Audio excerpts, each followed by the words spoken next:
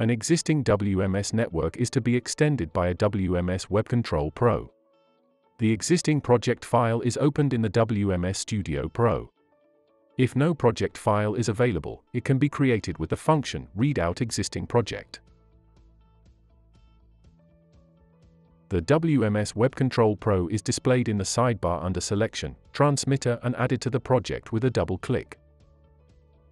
It is recommended to activate the central time switch to be able to use the full range of functions.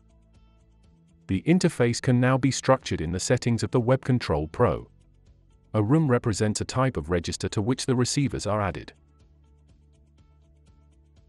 The room name can be adjusted via the pen icon. A new channel can be created via the element Add Receiver. An individual name is also assigned for the channel. The designations are displayed later on the user interface. The entry is confirmed with the button Channels as Scenes. All available receivers are displayed in the list that now appears. Click on the receivers to be allocated to the channel. The same principle can be used to create all the required channels and allocate the receivers. A receiver can be controlled via several channels and it is also possible to create a group channel.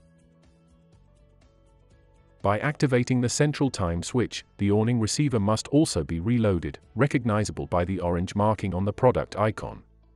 To do this, click on the corresponding device in the Transfer tab. The loading process can be started via the Load Device button.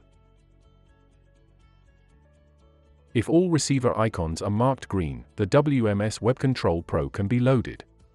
The transmitter is displayed as a new device in the sidebar and clicked then select the appropriate device in the workspace and the loading process is started. The WMS Web Control Pro is now ready for operation.